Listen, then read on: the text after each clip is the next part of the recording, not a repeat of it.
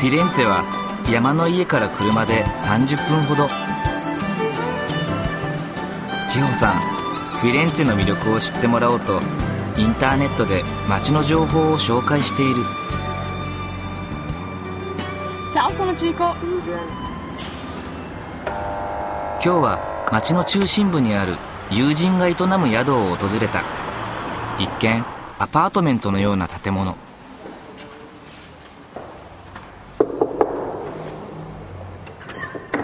Buongiorno.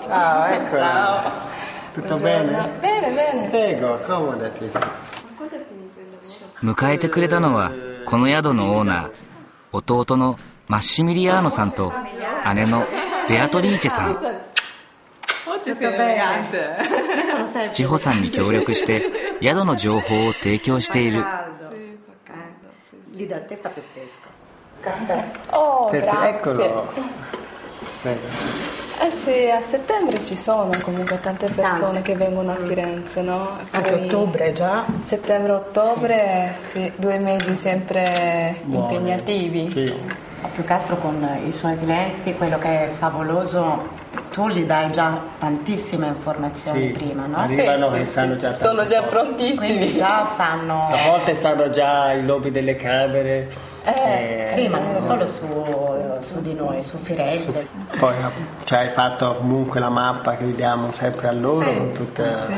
la traduzione. Poi le persone che, stanno, che sono stati qua sono molto contenti, sì, sì. 知る人ぞ知るこの宿。千穂さんが心惹かれる理由がある。マッシミリアーノさんとベアトリーチェさんが営む朝食付き民宿ベッドブレックファースト。2人にとってここは思い出の詰まった宝物。実は生前祖母がここに暮らしていたのだ。祖母後その思い出を残そうとできるだけ内装や間取りを変えずに5部屋だけの小さな宿に改造した。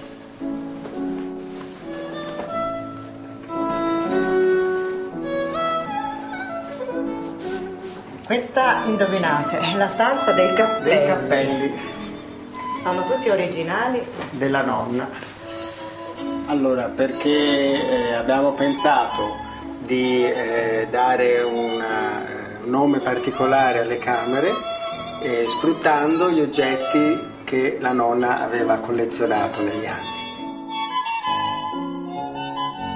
こちらは傘をオブジェにしたそれぞれにテーマが決められ部屋の名前にもなっているのが祖母が大切にしていたアンティークのコレクション La nonna era principalmente una persona curiosa, si interessava di tutto e aveva curiosità per le cose e per la vita. Collezionava perché non amava buttare via niente. Anche di oggetti apparentemente Apriamo i inutili, ma cassetti, ancora ci sono scatole eh, fiammiferi, le e cose tante di, cose. di una vita. 祖母が残したものには フィレンツェの古き良き魅力が宿っていると気づいた二人は他人の手を借りずにこの宿を切り盛りしている。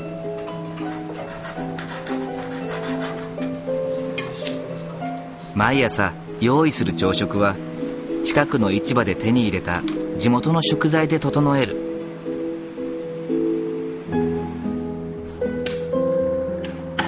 伝統的な調度品で飾られたサロンがダイニング代わり。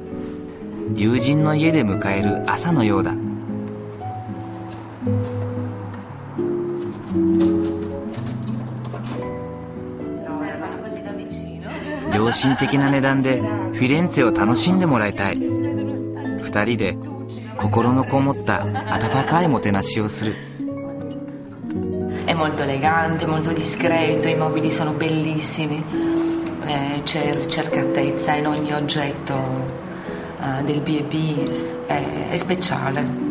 cioè di essere fuori, ca- fuori casa, diciamo, però avendo sempre la sensazione di alla fine della giornata tornare a casa.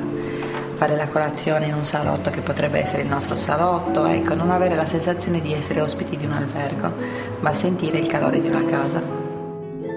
Condiviso la storia della casa con loro, la nostra casa con loro e quindi ci ringraziano di aver raccontato la storia della famiglia e di essersi sentiti come casa loro insomma, ci fanno i complimenti e quindi per noi è il massimo perché vuol dire che insomma, abbiamo fatto una buona impressione. 家族のぬくもりをそのままに伝統を残していくそれが千穂さんがこの宿を好きな理由だ。 对。